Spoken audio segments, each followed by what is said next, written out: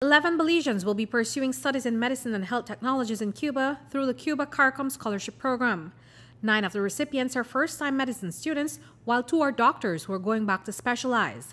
The students will be studying at the Latin American School of Medicine, ELAM. This is uh, very crucial for the region because the intention is to build the human resources for help the health system in the area, in this case Belize. Uh, it means that we had been uh, uh, graduating more uh, hundreds of Belizean, young Belizean in medicine um, for provide your health system of this kind of professional and not only graduate in med general medicine, also in specialists, in specialties. Sorry. Uh, today we are uh, do the farewell for 11 students, um, and in this case we are.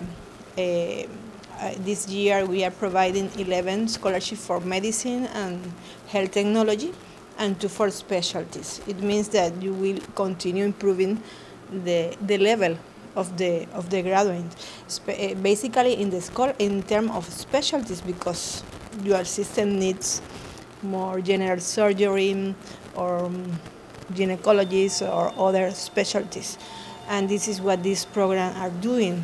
21 year old Dangriga resident Joshua Balogun is one of the recipients of the scholarship.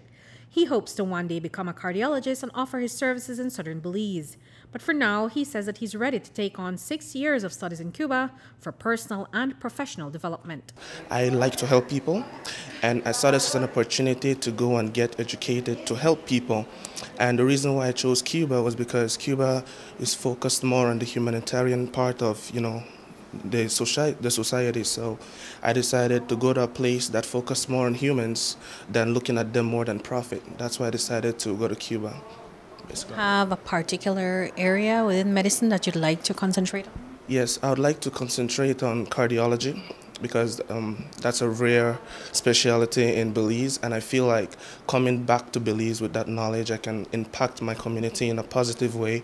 Um, Belizeans will no longer have to pay, you know, so much money just to go abroad, just to get minor heart um, conditions fixed when they can get that in their home country. So that's one of the reasons why I'm pursuing that specialty as well. Has medicine always been an area of interest for you? Yes, um, it's been medicine from primary school since I was young. Um, I've always wanted to do medicine. I think it all came about due to a good, a positive experience I had with my physician when I was little.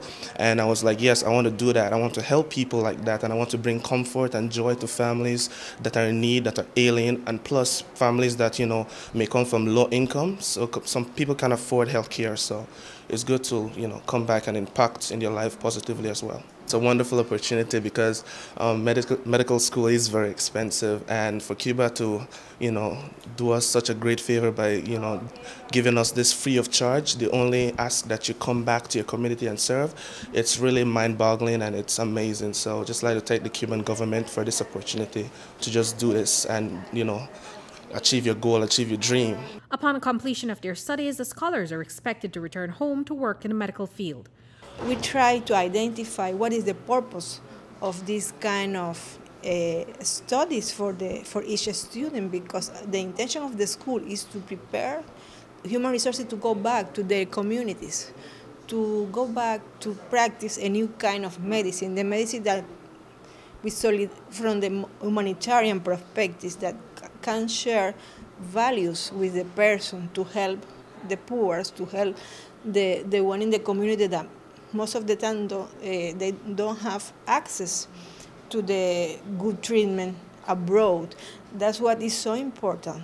The, the, the building of this capacity, not only the professional capacity, the, the value of human capacity, the, to be that this student can improve the values and the, the feelings for others. Reporting for News 5, I'm Andrea Polanco.